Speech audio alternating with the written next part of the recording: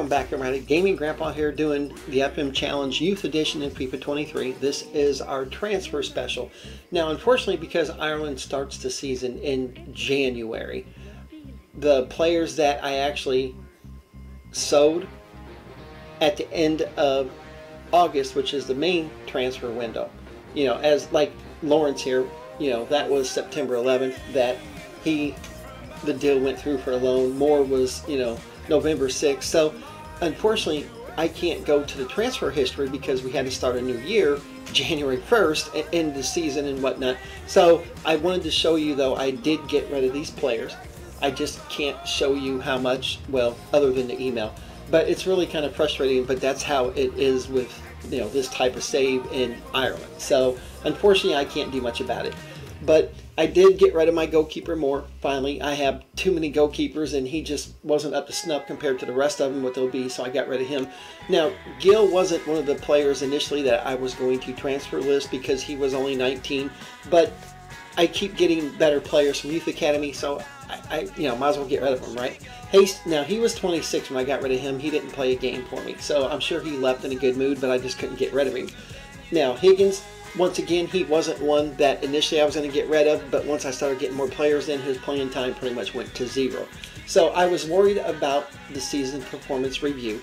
I had nothing to worry about though, because even though I didn't get uh, one of my critical objectives, I did manage to still, you know, have this email where they didn't even have to think about it. So I was kind of happy about that. Now I'm already getting, and I'll go through my objectives, but I already passed some of these. It's kind of funny, and they increased my transfer budget by 106,000. Another one. All right, and I'm going to cover the transfer history so far.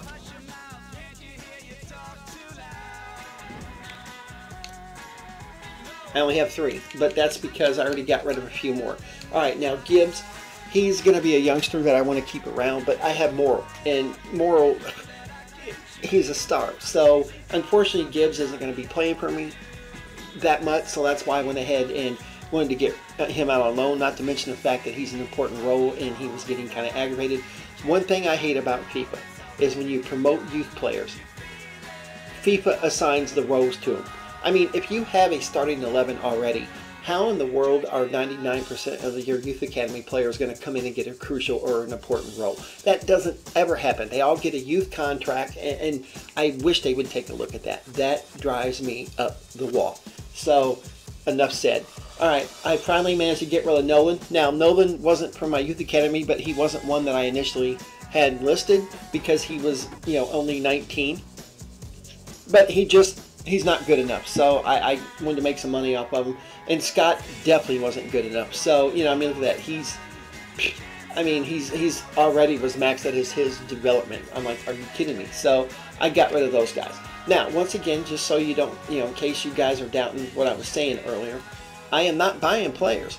I have nobody shortlisted. Shortlisted. I have. I just. I have not bought any players. So, you know, these are all the players that I have transfer listed now. And doggone it, I was getting rid of these guys. And unfortunately, you know, once again, the transfer deadline day just does not work. And it's very frustrating. So, not much I could do. Now I'm going to currently go through my youth squad real quick, which is something that I've been doing during my transfer specials. As you can see, I have a lot of goalkeepers. I don't like playing with this many, so I decided to go ahead and to get rid of a couple. I transfer listed these two. Now, the reason I did that, number one, and I'll show you, Harris is already worth more than all of them, and he's only 17. And Carvajal is worth more than all of them, too, you know, the 18 and 19 year olds, and he's 17. So that's why I transfer listed these guys. You know, now if I get offers on them, you know, that's fine. Now, these guys are all Youth Academy graduates, which is good. All right, Yoshida, I have not found anybody that's going to be better than him yet, and he's showing great potential, so he's going to, you know, remain on the team. Way, he's a Youth Academy grad, and, you know, unfortunately, I was hoping he'd be at least showing great potential, but he's not. But he's still, I mean, he's worth a decent amount of money. Now, Bowden, I transfer listed because let's face it, I mean, he's 19 and only worth 130, and, you know, I don't, I have other backups that I could play in them positions. All right, here's another Youth Academy grad. He's only 16, but he was whining and moaning, and he was going to leave the academy if I didn't promote him. And so I went ahead and promoted him, and we'll see how he turns out. You know. Now, when I sign my, uh, I'll cover that when I get into the youth academy, and I'll tell you how I sign them and what I base it off of. All right, done. I transfer listed him. I mean, he's still under 20. He's a good backup, but I have other players that are in that role, and so that's why I just decided to transfer list him. All right, Kimura, he's he's gone up. I mean, I think he's going to be a really good player for me. He, he's been my starting right back pretty much most of the season. Ryan has been playing center back for me, surprisingly. He's been doing a really, really good job, and I need to delete all of my favorite players because I'm tired of them popping up because I don't know how to edit them out. So, you know, but I'm going to keep him for a little while. He is an important player, but he's played most of the games for me. All right, now Norris is transfer listed, and I was debating on this one, you know, because he can play left back for me, you know, which is kind of handy to have a backup. But then I got a couple more youth academy grads that I'm going to bring up anyway that can do that. So why not? Now, as of now, I'm not getting rid of Duffy. He's he's been playing a striker mode for me for most of the season, as you remember. All right, now this is Morris. I I didn't know what to do with him. I mean, I don't like to transfer list players until they're at least 18, unless I just don't have a choice or I know they're not going to be good enough. Then I will. All right, now Mason, he's I didn't know what to do with him. He's only sporadic, so that was fine with me. Now, Caffrey, I went ahead and transfer listed him. He was playing center back for me for most of the year. He's just not good enough. I mean, that's what it boils down to. And Brennan, I'm not transferring list him yet, but he's probably not going to be here too much longer either because I have better players. All right, here's another kid that came up. And look, see, here's what I'm talking about. He's a crucial role. Okay, first off, I don't play with two central attacking midfielders. I play with one. This kid here is the one. So how in God's green earth did he end up with a crucial role when Merle is already in his position? I, I don't I don't understand it. He is worth 1.4 million at age 17, but here's what's crazy. It says at the club since 2023 for his status. So he's not even showing great potential, but yeah, I, I don't know. It's crazy. Now, Gibbs, he was showing great potential, and he's worth less. So I just, I'm totally lost. But he no, he had a rotational role. That's right. I just wanted to transfer listing because I, when I signed Abbas from the youth academy, he got that crucial role. I'm like, he ain't gonna get any game time, so that's why I went ahead and loaned him out, not transfer listing. All right, Adams and Cooper are my right mids, but look at that, an exciting prospect. So I'm excited about him. Now Adams, when he turns 18, I'm probably gonna go ahead and get rid of him. But you know, once again, I'll talk about the youth academy when I get there. All right, Lowe, he's been playing for me since the beginning. I brought him up because I was shorthanded on players, and he's he's gone up. He was a 44, I think, when I brought him up. So we'll see what happens with him. But I mean, he's not worth too much, but he's only 16, so we'll see what happens. All right, now this kid's been my starting left winger for most of the season now. He's not a bad little player. He just doesn't score that much for me, but he's a winger, so I'm okay with that. Now, here's where my attacking players get it gets kind of crunched in here. There's a lot of players. All right, I went ahead and loan listed Barry because he is in an important role, and he's just be honest, he's not playing that much.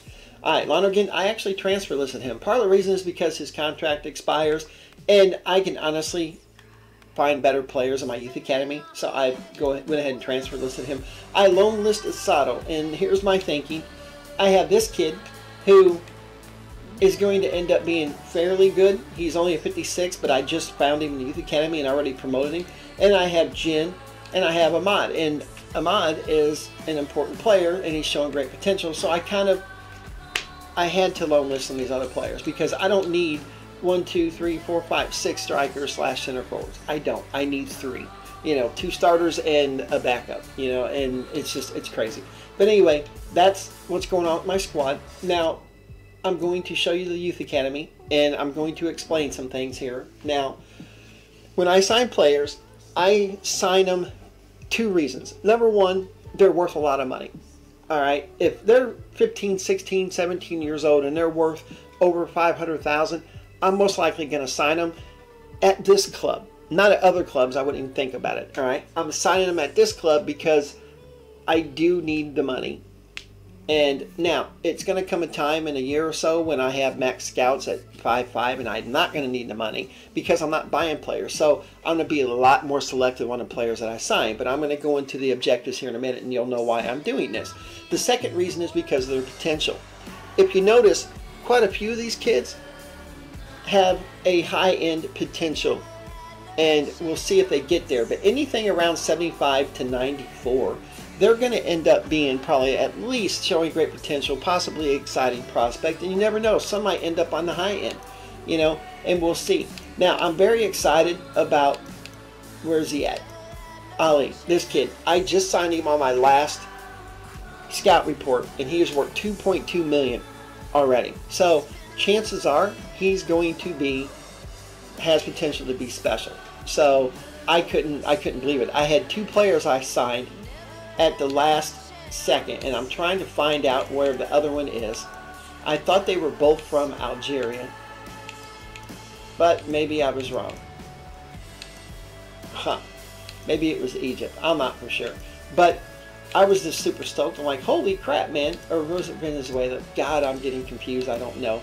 but I signed two players. One was 2.2 million, one was 1.1 million. So I signed them. And once they get of age, I'm going to go ahead and bring them up. Now, I I can promote some of these now, but remember, I don't like promote, promoting them unless they're in the 60s. I mean, that way I can see their status, and then I'll keep them till they're 18 and then get rid of them.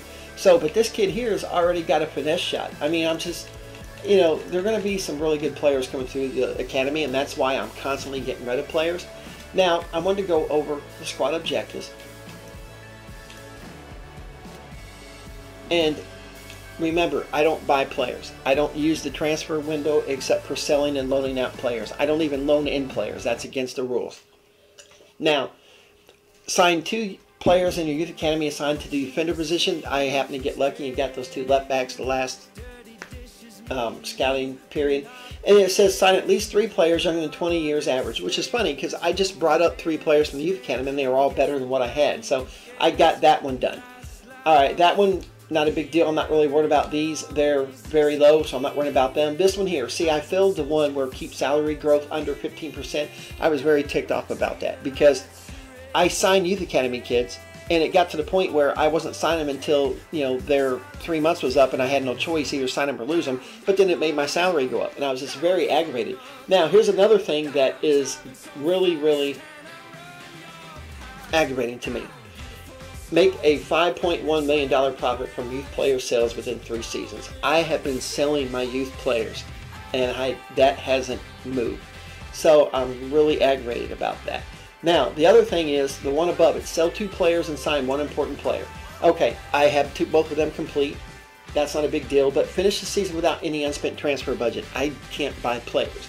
So, what that means to me is I am going to have to do it with the scouts because that does go on my transfer budget when I get rid of them, you know, the youth staff. And if you're looking, the 4-4 guy, I'm not really in that big of a hurry to get rid of him, but Aaron O'Neill and Mika Baconic, I would like to get rid of them. I tried to do it when their scout report was over at the end of December. The problem was is there wasn't any good scouts. It's like holy crap, man. So I just I couldn't do it. So I wish that you can see what's on the market before you hire these guys, and you got to fire them, and then it's just a mess, man. But I did do a save, and I did reload my save because I was just looking to see. Because I'm not going to sit there and hire and fire people like they tell you to do to try to find that 5-5 scout. It's just not worth my time or energy. So anyhow, that's pretty much. Might as well go ahead and talk about the starting lineup now. There isn't really very many changes, but there's a couple. All right, Ahmad is going to end up being my starting striker. He replaced Lonergan. And Barry is on the bench too because of Abbas. Remember that central attacking midfielder that could also play central or center forward?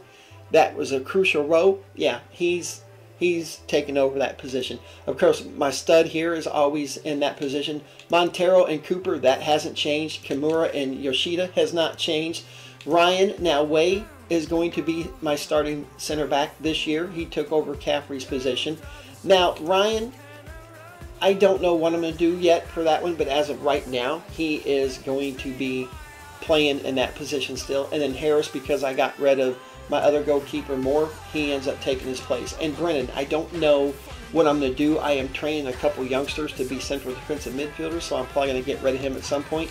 And then this is going to be my start or my substitutions. So we'll see how things go. But right now, everybody's eligible to play. I don't have any ineligible players because I got rid of all the players that originally, when I said were, you know, when I went through it saying these players are too old, I got to get rid of them. So all I have now getting rid of is players I want to get rid of. So it works out. But anyway, we are playing, I think it's the last game. Yeah. In the European International Cup, we are currently in fourth place at one point because we drew our first game, so this is our second game. But I wanted to show you one more thing before I call it a night here. We are in the Champions League, which blows my mind. I thought we were. Maybe, oh, no, we're not. I'm so sorry.